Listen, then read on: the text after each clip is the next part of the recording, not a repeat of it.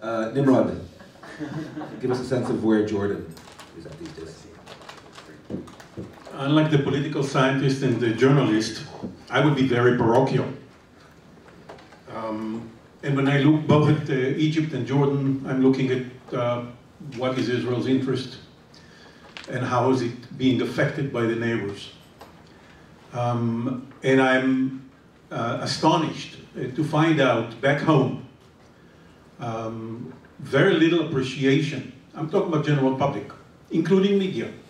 Very little appreciation of the strategic significance of the relationship with these two countries.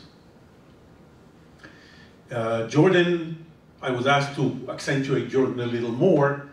Um, Jordan has emerged, in, in, the bilateral relations has emerged about a year ago from a terrible decade, a wasted decade in its relationship uh, with Israel.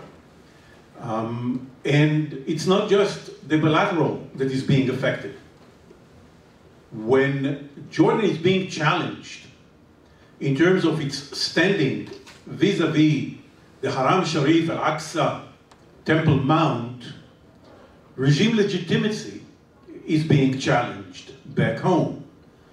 A regime that doesn't have the resources to uh, purchase loyalty, uh, the, a country that is starved for energy, for water, for any resource, basically, um, undermining regime legitimacy uh, in that way uh, is a very risky proposition.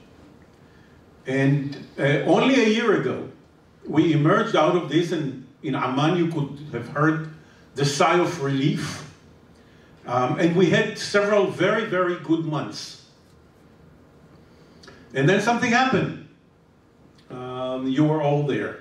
Um, a few weeks ago, uh, convergence of the holidays, and once again, uh, we had tension um, and we had problems um, and we had very serious protest, almost a crisis, with Jordan, including with His Majesty traveling, uh, uh, calling on, on, on, on, President Biden, eventually uh, traveling uh, to Washington these days.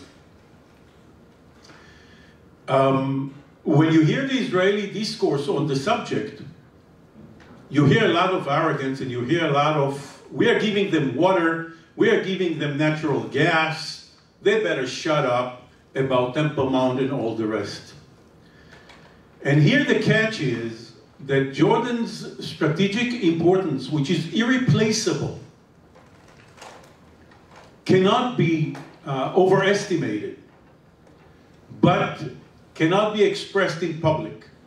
Uh, we have a thing in Israel that when we talk about uh, Israel's uh, yes or no nuclear capability, we say according to foreign sources. We must say, according to foreign sources, so according to foreign sources, Israel's security border is not the old green line, of course, is not the Jordan River separating the West Bank from the East Bank, but Israel's security border is 350 kilometers to the west, to the east, uh, 200 miles to the east, which is Jordan's border with Iraq, and by proxy with Iran. What Israel is able to do on the ground and in the air, according to foreign sources, vis-a-vis Iran proxies in Syria, Iran proxies in uh, Iraq, uh, and Iran directly, uh, is irreplaceable.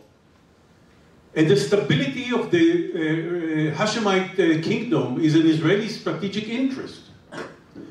And yet, the Israeli public hardly have any sense of it, and therefore finds any concession that Israel makes to Jordan, not as an investment in Israeli security, but as a leftist, uh, uh, bleeding heart liberal uh, concession uh, to that uh, little dictator over there uh, lack of understanding.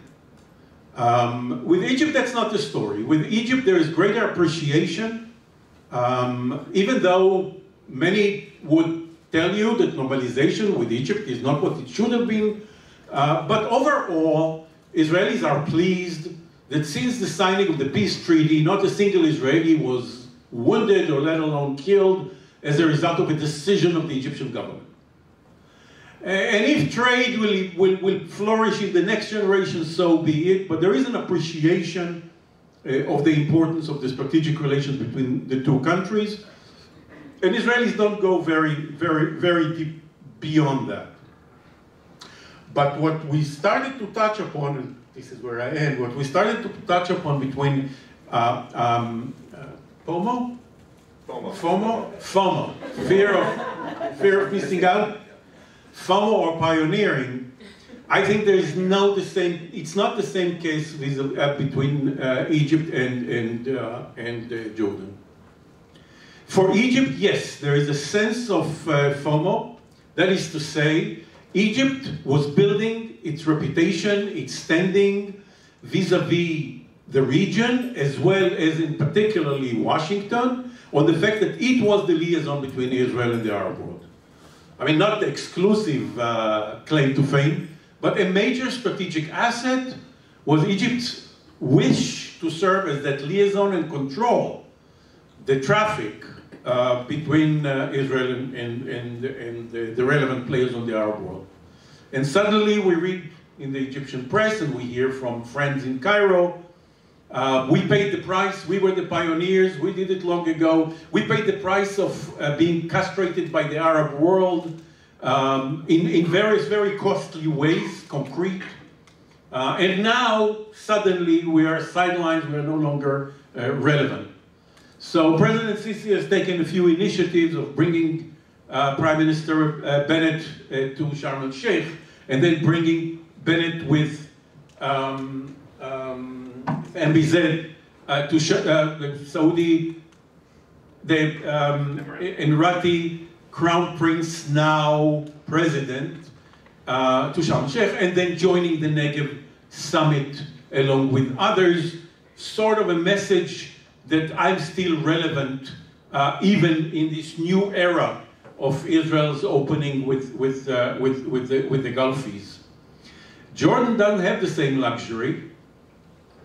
Uh, Jordan is not, uh, how did, did, you define it, uh, too big to fail and therefore 12 billion uh, are being coughed from, from, the, from the Gulf to, to sustain Egypt. Jordan doesn't get that luxury um, and, and, therefore is far more dependent on uh, uh, Israeli goodwill um, and on Washington's uh, goodwill uh, than, than Cairo is.